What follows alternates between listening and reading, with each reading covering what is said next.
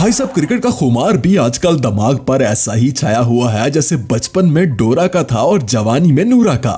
और इसकी वजह है ये क्रिकेट लीग्स इस साल में तो ये खुमार बिल्कुल भी कम नहीं होने वाला क्योंकि पीएसएल के बाद आ रहा है आईपीएल और उसके बाद टी ट्वेंटी वर्ल्ड कप ना तो हमें एंटरटेनमेंट और एक्शन की कमी होने वाली है और ना ही क्रिकेटर्स को पैसे की।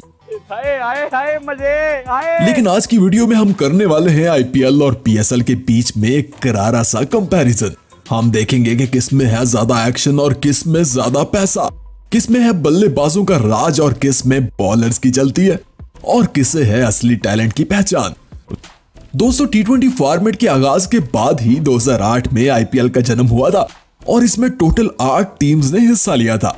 जबकि आईपीएल की मकबूलियत के सात साल बाद 2016 में पीएसएल का आगाज़ हुआ था और इसमें टोटल पाँच टीम्स मैदान में नज़र आई थी। 2008 की आईपीएल के पहले साल ही आईपीएल में हिस्सा लेने वाली आठ टीम्स ने टोटल 723 मिलियन डॉलर्स बीसीसीआई को पे करके फ्रेंचाइजेस को खरीदा था। और ऐसे आईपीएल के पहले साल का बजट ही 723 मिलियन डॉलर्स था। वैसे आईपीएल की कामयाबी के बाद हर साल ये बजट बढ़ के ज़्यादा होता गया और इस साल का आईपीएल बजट 1200 मिलियन डॉलर्स तक पहुँच चुका है। जबकि पीएसएल की सभी फ्रेंचाइजेस 2016 में सिर्फ़ 90 मिलियन डॉलर्स ही दे पाई थी। और 2018 में एक छठी टीम मुल्तान सुल्तान के आने से बजट 130 मिलियन डॉलर तक पहुँच गया था। मतलब जनाब आईपीएल के एक साल के बजट में पीएसएल पाँच बार ऑर्गेनाइज की जा सकती है। दोस्तों आईपीएल में हर साल विनर यानी चैंपियन टीम को 20 करोड़ का नाम दिया जाता है, जबकि रनर अप टीम को साढ़े बारह करोड़ का। और पीएसएल में? पीएसएल में विनर को चार करोड़ और रनर अप को डेढ़ करोड़ में ही नौ दो ग्यारह कर दिया जाता है। यहाँ भी आईपीएल पीएसएल से बहुत आगे है जनाब। लेकिन पीएसएल फैंस से ना मेरी एक रिक्वेस्ट है। धक्का मुक्की नहीं करने का आराम से लेने का। क्योंकि एक चीज़ है जिसमें पीएसएल भी आगे है और वो है मैन ऑफ़ द मैच की प्राइज मनी क्योंकि पीएसएल में मैन ऑफ़ द मैच बनने वाले खिलाड़ी को पाँच लाख का इनाम दिया जाता है जबकि आईपीएल में सिर्फ़ दो लाख का। तो पीएसएल आगे हुआ ना जनाब? दोस्तों पॉपुलरिटी की अगर बात करें तो आईपीएल के 2020 के एडिशन ने सभी रिकॉर्ड्स तोड़ डाले थे। आईपीएल दुनिया की वो वाहद लीग है जिसे 2020 में 400 बिलियन लोगों ने एक मिनट में एक साथ देखा था। और ये क्रिकेट की तारीख में पहली बार हुआ था। जबकि पीएसएल तो इसके आसपास भी नहीं है जनाब, बल्कि आईपीएल को हर साल दुनिया के 30 के करीब चैनल्स लाइव ब्रॉडकास्ट करते हैं, और पीएसएल को सिर्फ़ 10 भाई साहब 2022 के इस पीएसएल एडिशन से पहले माना जाता था कि आईपीएल में बल्लेबाजों का राज चलता है, जबकि पीएसएल में बॉलर्स का। लेकिन पीएसएल के इस साल के एडिशन में भी आईपीएल की तरह बल्लेबाज ही गर्म नज़र आए। वैसे आईपीएल में खेलने वाले सभी स्टार्स और धाकड़ बल्लेबाज पीएसएल में ऐसे ही फेल होते हैं, जैसे बेरोजगार लौंडा प्यार में फेल होता है। मतलब जैसे सीएसके की जान माने जाने वाले डीजे ब्रावो को देखिए, जिनका हाईएस्ट स्कोर आईपीएल में 112 का है, और पीएसएल में आके इनकी हालत भी वैसी ही हो जाती है, जैसी मेरी इंग्लिश के पेपर में होती थी। ब्रावो पीएसएल के 14 मैचेस खेलकर 100 स्कोर भी नहीं बना पाए। या फिर आईपीएल के हाईएस्ट स्कोरर क्रिस गेल को देखिए, जिन्होंने कई साल आईपीएल में राज किया। के के आर आरसीबी और पंजाब की तरफ़ से टोटल 150 मैचेस खेले और 5000 के करीब रन भी बनाए और आईपीएल में 175 रन की सबसे बड़ी बारी भी खेली। लेकिन क्रिस गेल की आमद जब पीएसएल में हुई तो इनका हाल भी बेहाल हो गया जनाब। वो टोटल 18 मैचेस में सिर्फ़ 350 रन ही बना पाए। गेल, लाहौर, कराची और कोयटा की तरफ़ से एक एक सीज़न खेले और अब की बार तो इन्हें किसी ने पिक भी नहीं किया। इनके बाद आईपीएल में सबसे पहले 150 स्कोर करने वाले ब्रैडन मकालम का हाल भी पीएसएल में इतना ही बुरा हुआ जितना गेल और ब्रावो का। सीएसके के धाकड़ ऑलराउंडर मोइन अली को भी पीएसएल में मुल्तान सुल्तान की तरफ़ से खेलने का मौका तो मिला, लेकिन वो भी फ्लॉप रहे। और 2021 के साल में तो इन्हें कोई खरीदार भी नहीं मिला।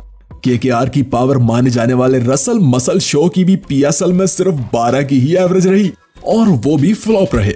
वैसे यहाँ मामला पैसे का भी हो सकता है जनाब, क्योंकि आईपीएल पैसा लुटाने में पीएसएल से बहुत आगे है, और जितना ज़्यादा पैसा, उतनी अच्छी परफॉर्मेंस। अरे इतने पैसे में तो फिर ऐसी परफॉर्मेंस मिलेगी ना, है कि नहीं?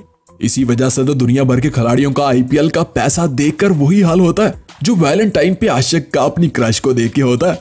और फिर पीएसएल को एक्स गर्लफ्रेंड की तरह इग्नोर कर दिया जाता है। भाई आईपीएल में खिलाड़ियों को ऑक्शन में पेश किया जाता है और फिर इन पे बोली लगती है, जहाँ किसी की किस्मत चमकती है और किसी की लॉटरी लग जाती है, जबकि पीएसएल में कैटेगरी के हिसाब से सैलरी दी जाती है। पीएसएल में सबसे बेहतरीन कैटेगरी प्लेटिनियम होती है, जिसमें खिलाड़ियों को मैक्सिमम एक करोड़ तीस लाख मिलते हैं, जबकि इससे ज़्यादा तो आईपीएल का अनकैप खिलाड़ी ही कमा लेता है, जनाब। जैसे अफगानी बॉलर नूर अहमद पीएसएल में सिर्फ़ 15 लाख में बिके थे जबकि आईपीएल में इन्हें 30 लाख में खरीदा गया। रॉदर फोर्ड को पीएसएल में तिरसठ लाख, जबकि आईपीएल में एक करोड़ में खरीदा गया। एलेक्स हेल्स पीएसएल में 40 लाख के थे और आईपीएल में डेढ़ करोड़ के बिके। जेसन रॉय पीएसएल में 90 लाख के थे और आईपीएल में दो करोड़ के रहे। डेविड वैली पीएसएल में तिरसठ लाख के थे और आईपीएल में दो करोड़ के बिके। क्रिस जॉर्डन पीएसएल में 90 लाख के थे और आईपीएल में साढ़े तीन करोड़ के रहे। टीम डेविड पीएसएल में 90 लाख के थे और आईपीएल में साढ़े आठ करोड़ के बिके। और लिविंगस्टन पीएसएल में 90 लाख के थे, जबकि आईपीएल में साढ़े ग्यारह करोड़ के रहे। राशिद खान भी पीएसएल में 90 लाख के थे, जबकि आईपीएल ने इन्हें 15 करोड़ दिया। अब इतने पैसे में तो खिलाड़ी पीएसएल क्या अपनी नेशनल टीम भी छोड़ सकते हैं, है ना? वैसे बात अगर पैसे से हट के टैलेंट की करे ना तो पीएसएल में यंग प्लेयर्स को अपना जलवा दिखाने का मौका ज़्यादा मिलता है। जैसे इंग्लिश बॉलर जोफ्रा आर्चर को 2017 में मिला था, जब इन्हें शायद कोई भी नहीं जानता था। वो पीएसएल में कराची और कोयटा की तरफ़ से खेले थे, और फिर इन्हें इंग्लैंड की नेशनल टीम में भी शामिल किया गया और 2018 की आईपीएल में इन्हें साढ़े सात करोड़ में खरीदा गया। 2016 के पीएसएल में डेविड मलान भी पिशावर जलमी की टीम में नज़र आए थे, और 2017 में इनका इंग्लैंड की तरफ़ से डेब्यू भी हुआ और वो दुनिया के नंबर वन टी बल्लेबाज भी बने। लिविंगस्टन भी 2016 में पिशावर जलमी का हिस्सा थे और 2017 में इनका डेब्यू इंग्लैंड की तरफ़ से हुआ। और 2019 के आईपीएल में इन्हें 50 लाख, जबकि इस बार साढ़े ग्यारह करोड़ में पंजाब ने खरीदा। और लाहौर कलंदर की तरफ़ से 2020 में अपना जलवा दिखाने वाले टिम डेविड 2021 के आईपीएल ऑक्शन में 20 लाख और इस साल साढ़े आठ करोड़ के रहे। इस साल लाहौर कलंदर की तरफ़ से धूम मचाने वाले इंग्लिश बल्लेबाज हैरी ब्रोक भी जल्द हमें इंग्लिश टीम में नज़र आएँगे। और आने वाले साल में शायद वो आईपीएल का हिस्सा भी बन ही जाएँगे। भाई, वैसे तो आईपीएल और पीएसएल का कोई कंपैरिजन नहीं बनता, क्योंकि आईपीएल इस वक्त दुनिया की सबसे फ़ेमस और रिच क्रिकेट लीग है और दुनिया के सभी स्टार प्लेयर्स आईपीएल का हिस्सा भी होते हैं, जबकि पीएसएल में जो कोई स्टार आता है, वो भी आईपीएल की वजह से छोड़ के चला जाता है। और पीएसएल की पहचान माने जाने वाली बॉलिंग क्वालिटी भी इस बार मान ही नज़र आई है। आईपीएल के पास पैसा है पावर है, दुनिया के सभी स्टार प्लेयर्स हैं और दस टीम्स भी। जबकि पीएसएल के पास सिर्फ़ यंग टैलेंट और कुछ बची कुची बॉलिंग क्वालिटी सो भाई सब पीएसएल के फैंस कमेंट में बमबारी करने की बजाय जरा दिल से सोचे।